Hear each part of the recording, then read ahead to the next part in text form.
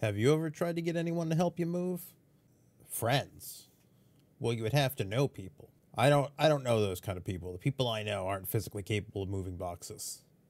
It's a whole thing. Then you owe them stuff or you buy them lunch. There's some exchange of of services to which they're amateur at in exchange for food, which is why you're not paying them.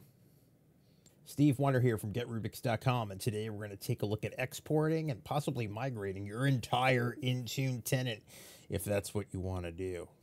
Let's leave my friends out of this.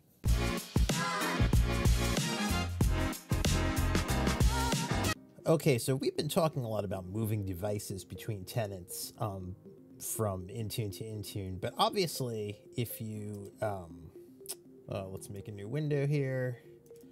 Obviously, if you have an Intune environment and you are going to migrate stuff from one tenant to another, uh, you need to move the tenant first in the settings. So you have a few options, right? You can rebuild from scratch, right? Just kind of look at your policies side by side. But I mean, what you know, you might have a lot of policies, right? And um, like, let's take a look at my my setup here. And uh, if we just look at the Windows side, right? Configuration profiles, I have quite a few. 19 policies, it says. Um, some compliance policies. I, I know I have some scripts in here. Uh, those are remediation scripts. I have my platform scripts, not to mention the the applications and autopilot settings. So, you know, the bottom line is there's a lot there's a lot of stuff here. So, how would you move all of it? Um, so, as we know, we've talked about the Microsoft Graph before, and everything is in the graph on the back end. But I want to show you a fantastic tool um, that's known as the Intune Management uh, with PowerShell and, and WPF UI, right? Um, so it's you know part of a great GitHub repo. Um, I've been following this for a while. Um, definitely gonna butcher the name, so I'm not even gonna bother. But definitely check out, um, definitely uh, check out the the repo here, and I'll put the links to this below. This is a fantastic tool. Um, so yeah, let's take a look at it. And what's really nice is this has, um, I mean, really a lot of stuff, but it's got this fun little uh, GUI interface here that allows you to uh, basically, you know, move stuff around. So I'm going to take you through it. Like I said, I'll put the link below.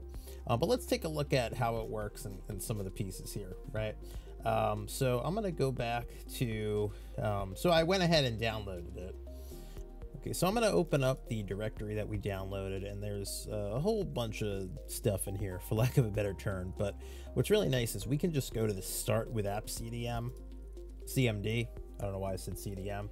And what this is going to do is it's going to open up this uh, GUI interface to work with these uh, scripts for us. and close some other things. So the first thing we need to do is we need to, uh, we're going to need to sign in. So in the top right, we can see a, there's essentially a little login icon, and that's for our, that's our OAuth. All right, so I'm going to go ahead and click the log on there and I'm already logged in with uh, Steve Capacity on the machine so it's going to retrieve that token. Uh, or didn't retrieve the token it's making me authenticate again that's fine.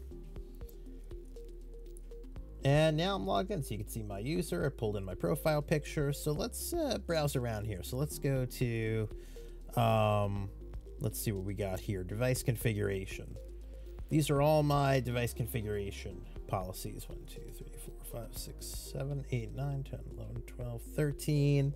Um, and then the software update ones. Uh, feature update. No. Where are the update policies? Um, update policies. There's the other the other two right there. Um, so what else do we have? We have um, we scroll up here, we have administrative templates. So this is any policy we set as an ADMX any ADMX files we've ingested, we didn't. Um, if we look at our applications, this is everything that's up there, which is, you know, really cool. If we had co-management settings, um, let's look at autopilot. It's going to have our autopilot profiles, um, any policy sets we have. We don't actually have any of those enrollment restrictions. We do have the um, the two, the one that blocks uh, the personally owned. This is our enrollment status page, so we can uh, we can see this if I want to click on this and uh, let's view it. I can get the JSON view, right? Um, now, what's really nice if I want to document any of this, I can. So if I click that, hit document, output type, uh, let's do uh, HTML, policy separator, that's fine, start. And uh, this just made a HTML uh, file for me that I can look at and I'll put my settings. So obviously if you had a you want to do this and, and, and build documentation for your whole tenant, you can. So this is a very powerful tool here, being able to do it like that. But what we want to look at today is how we export all this. So what I want to do is I would like to bulk export. So what do I want to export? I want to export everything, okay, in in the tenant. Um, now here, if we hover over, oh, I missed it there. Okay. Um, so you have an option to attempt to export the application file as well. So we're going to try that. Um, but here we go. So I'm going to run this, and this is going to grab everything in the tenant. And now let's take a look at our options up here.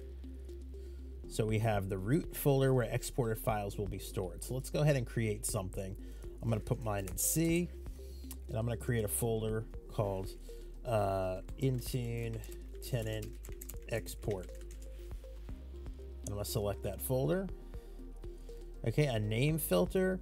Um, this will essentially allow us to filter out, but we're not doing that. So let me go ahead and hit export. Now I'm logged in as a GA, so I should have no problem uh, permissioning this. Uh, there's a few ways this handles authentication. Uh, we can get to that, you know, later if you want to look at the README in there below. It's a, you know, plenty of information. But right now, it's essentially going through my whole tenant and creating an export. And the export is all the same format you would get, like I showed you before, in JSON. That's what's in the Microsoft Graph. So this is going to allow you to import this to another tenant. All right, so that looks like it completed. Let's close. Let's go see where this uh, where this ended up. So I called it uh, Intune Tenant Export, Steve Capacity, so it named the folder there. And if we look at everything else, Windows 365 provisioning policies, this is the JSON of my provision policy. Cool. It's amazing. Um, now, he, here's the thing. Here's what you can do with this. So we have an export of all this. So what does that mean? That means if I were to, I'm going to change this here, sign in with a different account. I'm going to go back to the Rubix Dev, Groovemaster at rubixdev.com.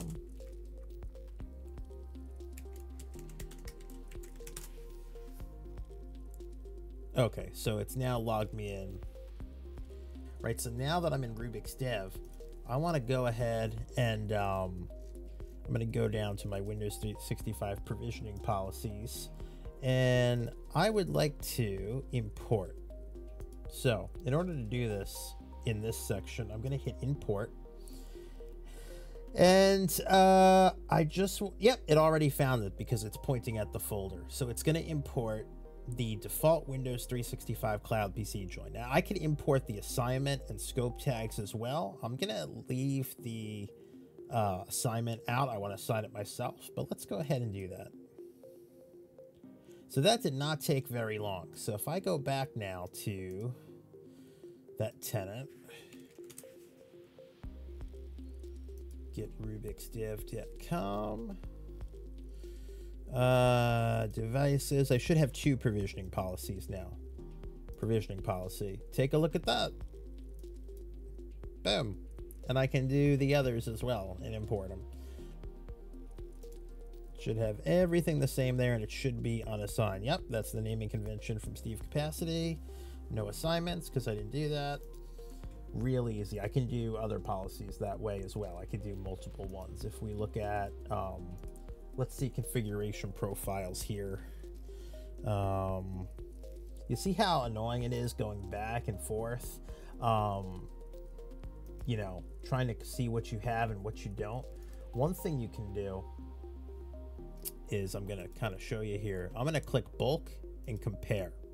So I want to compare Intune objects with exported files. Okay. So it's going to compare this tenant against the source that I exported, against the export root. Okay, so you see it gave me, it added something to my source, a compare CSV. So, ooh, let's look at this in, let's look at this in Excel, actually. This is open with. Okay, so it turned out, for some weird reason, I did not have Excel installed on this machine. Um, so as opposed to taking the time and doing that, I improvised, got you some, opened up Google Sheets, and uh, figured it'd be the same to show. So if we look at um, the data that comes out, so if you're looking, for example, at this uh, policy, right?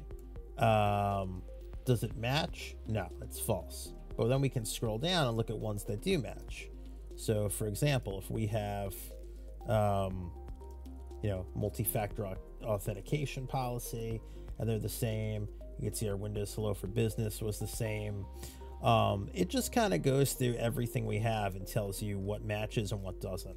So you could essentially filter out, and you could say, I want to see everything that that does not match, and uh, it, I put the falses at the top, so you can see we we don't have any of these in the other tenant under applications. So that gives us a place to start. And then you can see here the applications we have in the, um, you know, in the other tenant, right? So this is a great way to compare and determine what you need.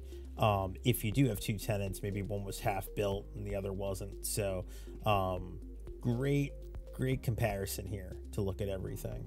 Great way to do it. So that was a brief overview of the Intune Management PowerShell tool. Again, uh, the link is below. Check it out. It's very easy to use. Um, it's very good just to see what you have, maybe in a very consolidated view, and, and, sometimes it's, it's even quicker than Intune. So definitely give it a shot. Obviously, the the application of using it, uh, you know, the potential is amazing.